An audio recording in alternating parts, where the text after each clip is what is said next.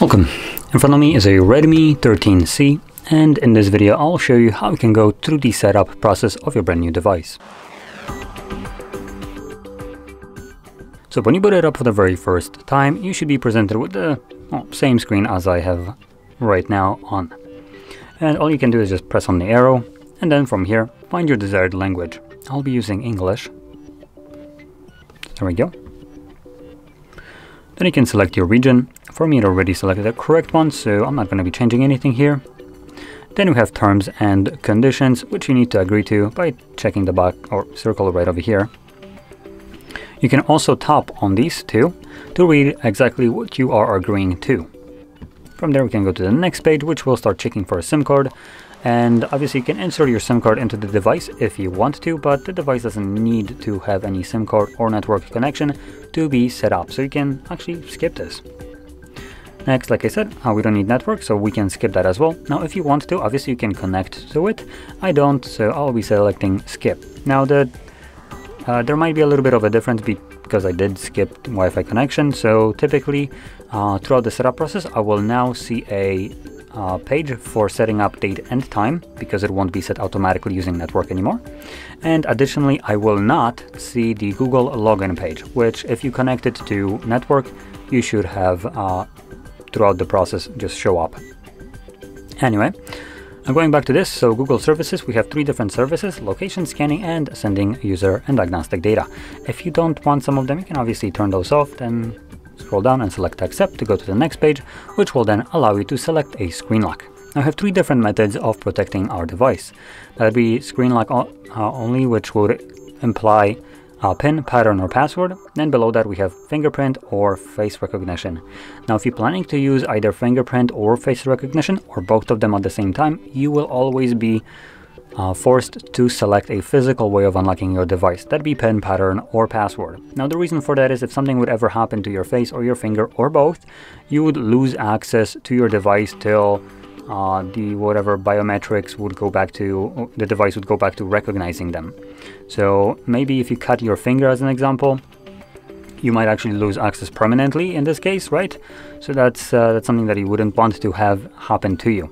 So hence that would leave the screen lock as a, another option to unlock your device, which wouldn't change no matter what would happen to your biometric features. Now I'll be skipping this and not protecting my device at all, but I just wanted to explain this for people that might be interested. Now here we have some basic settings and it's kind of funny that some of them are called basic in here. So we have location, this is now from Xiaomi. If you don't want uh, Xiaomi to spy on you, you can turn that off.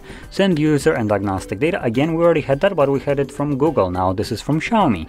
Automatic system updates, those are completely up to you. Personalized aids, uh, ads I mean, uh, that's uh, that's just absolute horrid garbage. I recommend turning that off. And unlike everything else here, it also gives you a pop-up with reverse psychology, giving you the blue button uh, on the right side, which would typically confirm your actions. But no, Xiaomi just shows you a middle finger and does the exact opposite to turn off this annoying feature. Now, to people that don't know uh, what this is, because you can see it doesn't really go into it, unlike every other option right here that has couple paragraphs to them.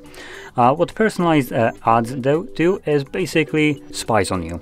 It, it's as best as I can explain it. It just gathers data on what you search for, what you talk about. So if you don't like your device listening to you when you're speaking with your friends and then giving you ads based on what you were talking about, then you might probably want to turn that off. As you can probably imagine, it is a bit intrusive.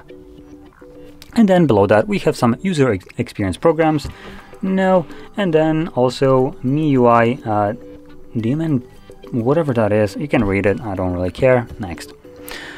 Uh, then we have set up screen lock. So this is uh, what some device call like a wallpaper carousel. Uh, here it's called well, exactly that. It's called exactly that. Um, but what it is, it's basically a set of wallpapers that will be cycling through your uh, lock screen whenever you press the power button to wake up your device and you're still on a lock screen.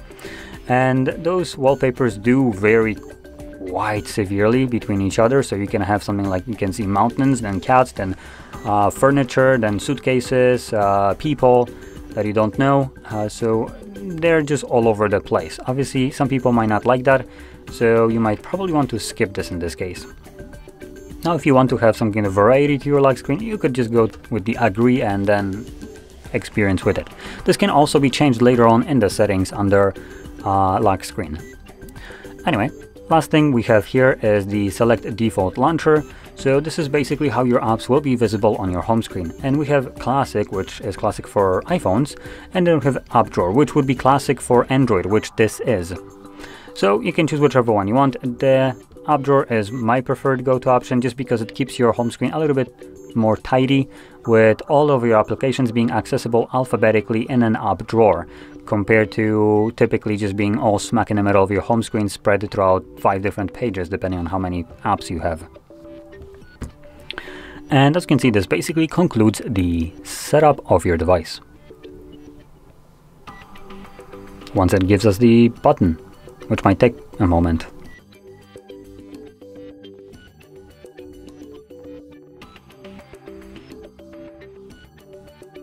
There we go. Come on. Ah. So, if you found this video helpful, don't forget to hit like, subscribe, and thanks for watching.